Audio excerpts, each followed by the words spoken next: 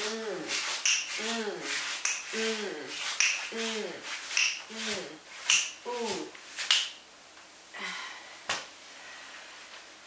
That's a little too much. Hey, how's it going? Damn. We're on that uh, last, jeez, I'm gonna slip in this chair and everything's gonna go flying. We're on that last uh, week of the year vibe, that feel. I'm absolutely obsessed with this time of year. I don't know, it feels good. It feels like the holidays are over. We enjoyed ourselves, hopefully. It wasn't too stressful for too many people. It wasn't for me, I had a great holiday. What did I do? Um, this holiday season, I was able to successfully see my family, which I love. Last year, I wasn't able to go because I got sick. It wasn't the vid, believe it or not, even though it felt like it. I was sick, so I stayed in the city in my bed sweating for hours, which was great. But this year I was able to go visit my family. I took a little, you know what? Why don't we, why don't we visit some of the footage that I took? How about that? Do you want to see? Yeah, let's make a little, a little side quest.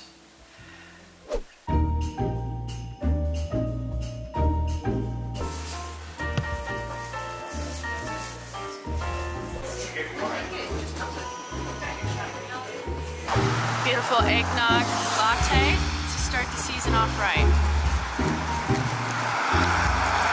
It's not as cold as you'd think.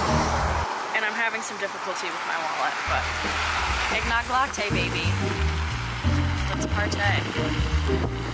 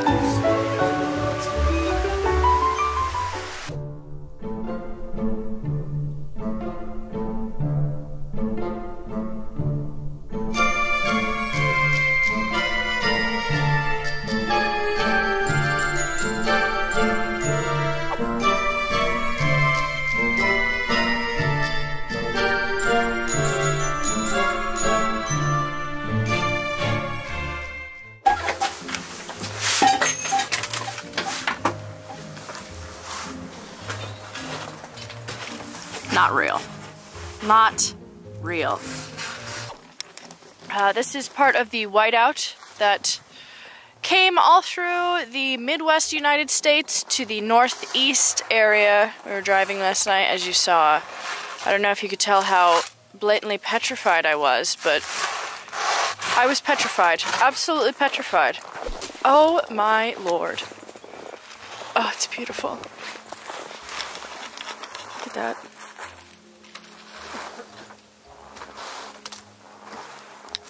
Footprints in the sand. Magical! Magical! First thoughts on the snow. Give them to me. A lot of snow. He's not lying! That's not a lie! It's got the juice, it's got the Wasn't that fun? Is that just not the cutest thing you've ever experienced? So that was what my holiday looked like. That's what it felt like. And now that the holiday's complete, I figured that we would take these last couple of days pretty seriously. Why not task yourself with something useful? And I want to finish as many books as I can in what I don't have a watch. I don't have a watch, but it's the 27th. I know that. I think. It's the 27th. I have what when when does the when does the month end? I have until the 31st to read as many books as possible. Currently, I am halfway through through Perfume, the story of a murder on audiobook, and I am about to finish the banner under Jesus, I can't talk. I'm about to finish Jon Krakauer's Under the Banner of Heaven. I have about 100 pages, which I think I'm going to finish today. And then what am I gonna read after that? I don't know. I think I have a couple of ideas. I also stocked the hell up on books, which expect a haul. So many good deals. Let's make this vlog all about the books I'm gonna read to finish out the year. Let's see how many I can read.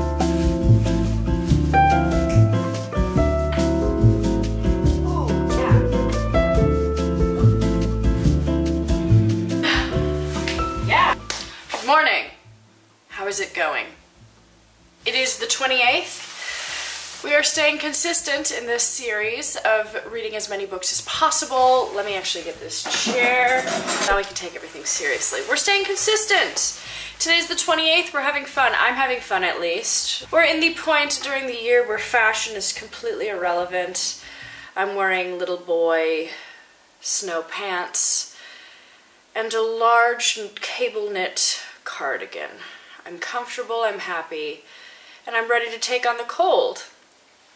That being said, I finished Under the Banner of Heaven by Jon Krakauer. What a strange, convoluted journey that this was. If you're unaware of what this book is about, it is essentially Krakauer's take on the fundamentalist sect of the Mormon religion. He does loosely examine Mormon religion as a whole, its beginnings, its origins with Joseph Smith to Brigham Young, to what it has become now as one of the fastest growing religions in the United States. It takes all of that and then it ties it to this infamous murder done by the Lafferty brothers, Ron and Dan. They murdered one of their brother's wives and child. So that that is kind of the the introduction to this story, and then from there, Krakauer spreads into many different narratives and different conversations to be had about the religion. I thought it was a fantastic read. I love Krakauer. This is a very well known fact. I'm not throwing anything new on you, so to say that I wouldn't have enjoyed this experience would probably be to remove me of everything that I stand for. I don't think that this is going to be a book for everybody. I would definitely say that if you have a strong intrigue into how a religion is started and how it can influence the movements and the actions of people and how people further augment the experience of a religion, then I would go to this. It does obviously have the true crime element, which I think is the main draw about the book, is people are intrigued by true crime. That's simple. We know this. I am part of that diagnosis. If it is something that you think you'd like, pick it up. It's a big book. It's a big one. But it's great. Also, while I was reading it, I found who it belonged to. I picked this up in Cortez, Colorado, and I mean, I'm not gonna show her name. I'll try not to. But you can see there that there is a little label and it shows an address and a name in Cortez, Colorado. So maybe I'll see if that person is still around. Let them know I have their book. Great. Great. I'm still listening to Perfume. Um, you know, it's getting better. I'll probably tell you exactly what that's about once I finish it. I'm 64% of the way finished with that. You can see the most disgusting cover I've ever seen. Oh, it looks like a bad romance novel at the airport. I don't love that at all. I also, God, I am proud of myself. Are you proud of me? I'm trucking, baby. I picked up Near to the Wild Heart by Clarice Lispector. I picked this up this morning and I'm already 50 pages in. Enjoying this so far.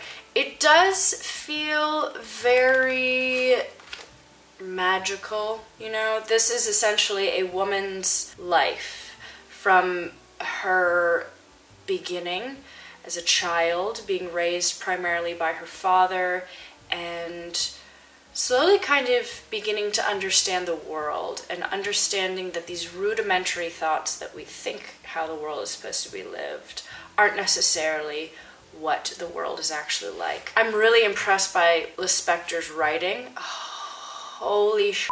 19 years old, I believe, is when she wrote this book, and um, really impressive. So enjoying this so far. We'll probably finish this by tonight because I'm a crazy girl. I'm literally crazy. Anyway, oh my god. It's cold. and it's winter, so I'm going a little crazy. I'm gonna go on a walk and I'm going to listen to Parfum, Parfum, and uh, we'll continue. Why not? Let's go, girls.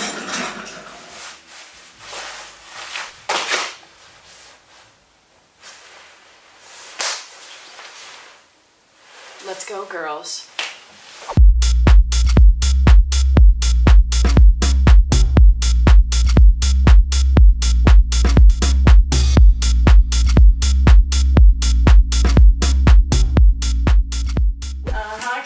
other side. Uh-huh, coming in from the other side. Once I start with the theme of a video, I have to stick to it. And this one is, you know, dancing introductions by a fool. By a fool. It is December 29th. Not only am I staying consistent in the date, but I am staying consistent in exactly where I'm going to talk to you about books, and that is this chair. oh, baby. Listen, I just finished Parfum, The Story of a Murder. If you finish this book, I would love to hear your thoughts on it. I listened to this on audiobook. I've been listening to this book for the better part of two weeks, I want to say. I have a great relationship to audiobooks now. This is definitely something that I've leaned into this past year. It makes the experience of reading a book so much more mobile. I love to go on walks and being able to accompany those walks with books has been fantastic. This was a great audiobook to listen to. The narrator, he was kind of sassy and I loved it. So let's get to the story, why don't we? Why don't we get to the story? So this follows Jean-Baptiste Granois, Granois, Granois. Ugh, that's hard. He is born with a highly, highly sensitive olfactory sense. He is able to smell everything from dirt to rocks to bodies to animals in such a heightened way that it, it drives him mad. His mother essentially abandons him. He is taken in by people who don't want him, and he eventually moves his way up into a tanner, a leather tanner. And it is through this profession that he is able to meet Baldini, who is this famed perfumer in France and with this joined partnership with Baldini, I can't stop with these names, I'm obsessed. Jean-Baptiste is able to get higher and higher and higher in the societal ranks. And due to his societal confidence, let's just say that way, he starts to kind of chase the dragon of what he can create in a scent? What can sort of make him stand out as the alpha and the omega of scent making in France? Obviously, he has this special skill, this heightened sense of smell that is unparalleled to anybody else. So he has that, but he just wants more. He wants much more. And this is obviously the story of a murder that's right in the title where that murder comes in you'll have to find out if you read it it does have something to do with jean-baptiste as you can imagine. This is a book about passion and obsession and this inflated sense of self-worth and also vanity, a huge play on vanity. The last 50 pages or so are wild and they partner this idea that people can overlook somebody's atrocious acts due to this magnetism of, you know, in this case, smell, but also what that smell means. And it's this scale of beauty and this scale of attractiveness. And it's wild. Apparently, this was one of Kurt, Coca- Kurt. Apparently, this was one of Kurt Cobain's favorite novels, and that checks out. That makes a lot of sense. Anyway, so there's that. How many books are we on? Two. And two books that I've started weeks ago. but we're going, baby. We're chugging. We're chugging. Ooh, what else? I am about a little over halfway completed with Near to the Wild Heart by Clarice Lispector. I said I would finish it yesterday and I'm a big juicy liar. I really like this. I do feel like now in this portion of the book, it's finally starting to gain traction. I told a little bit of what it was about yesterday, but now the main character of Jean, Jean, Why am I giving them all French accents? Joanna, I think is her name. Joanna. Yeah. Joanna, the main character, she's gotten older and she has now married, and now it is starting to kind of show the demise of her relationship with the man that she has chosen to spend her life with. It's very good and it breaks off into these very introspective segments that you don't really know who they're catering to, but once they kind of break away from that and you are asserted into a certain part of the story, it feels very valid. Again, 19 years old, kind of ridiculous. Makes me question everything that I thought was profound at 19. She's on a whole different level. Also, this is what I've been using as my bookmark lately, and it's kind of astonishing. And hold your chin up because it's gonna drop. Vintage truly I can say vintage because Amazon is not just a bookstore anymore, but a vintage Amazon paper bookmark. Look at that logo. Kind of glad they go with the smiley face now because that big old O looks like a weird portal or like a very basic pumpkin. A room without books is like a body without a soul. Cicero. Thank you, Jeffy B, for that. I'm holding on to this for dear life. So that's it. I did find, in my Libby scrolling, I found a book called Bonsai, which is by a Chilean author. It is a literal short story, I think. Apparently it's supposed to be decent, so we'll see what that is gonna be about. Mm.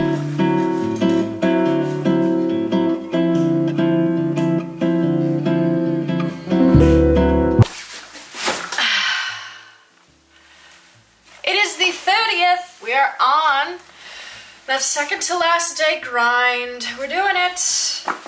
Ooh, we're doing it. You're probably like, Anna, why are you wearing short sleeves today? Well, it is currently 53 degrees in New York City, which is remarkable. I went on a stunning walk. I just came back from it, hence the rejuvenated and exciting energy just coursing through me. On said walk, I was able to finish Bonsai by Alejandro Zambra.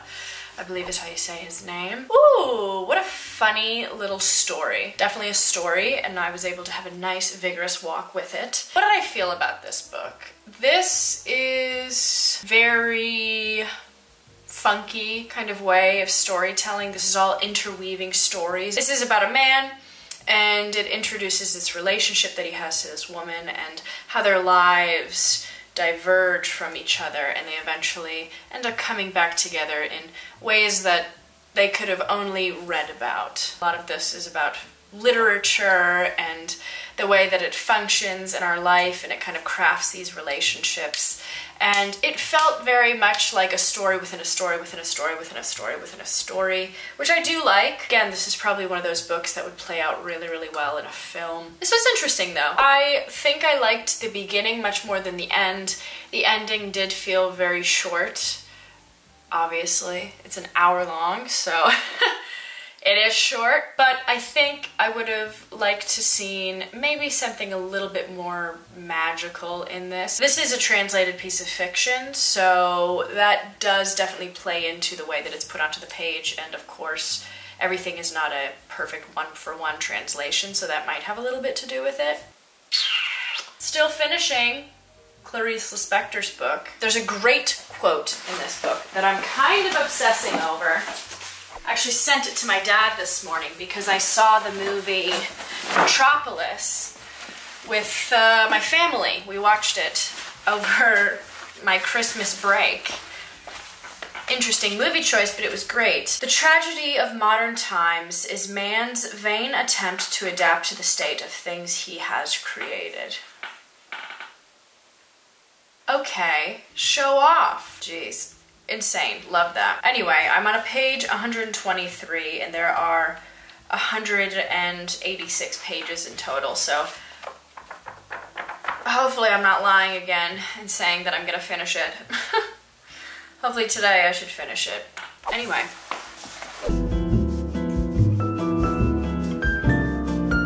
Hello. Hi. It's the 31st, right, Alec? Oh? We got the confirmation by Oleg, which is great. It's the 31st. You know what that means? It's the last day of seeing how many books I can read before the year ends, starring myself and Oleg as the most supporting character. I finally finished that book. Damn, that took a while. Let me grab it for reference. Why not? She's been finished. She has been finitoed. I'm very happy with the end result. Wow, this was great. This was a really interesting book to end the year on. I don't know. I kept on going back to the fact that Lispector was 19 years old when she wrote this. She was so mature in this writing. Knowing that she was 19 years old just lended the whole experience to being totally different. For me, I was looking at a very young girl trying to understand the future that she might potentially have and trying to kind of unpack that in all of these different possibilities. Wow, it was really smart. Really, really formed ideas for someone who has not yet experienced a lot of those things, probably. It felt like a mature, lived person had written this novel, and I really was impressed by Lispector's writing. Again, it was my first time reading her, so kudos. Can't wait to read more. It's a very thinky, a very stream of consciousness sort of novel that takes you in so many different directions, but the spine throughout it all is just relationships and there's affairs, there's lust, there's longing, there is betrayal, and there is this inevitable attraction to things that we don't know why we're attracted to them, but we keep on coming back. And uh, I thought it was great. Oleg, you want to come back in? Oleg's ready to go. You are ready to go? Okay, guys, I think you know what that means. I'm ready to go to my New Year's celebrations. I hope you all have a wonderful New Year. I hope that the New Year brings prosper us moments and fun. And I hope all of your wildest dreams come true in the new year. You guys are wonderful. You're fabulous. Thank you so much for being here with me throughout this entire year. I will see you in the next year. Bye.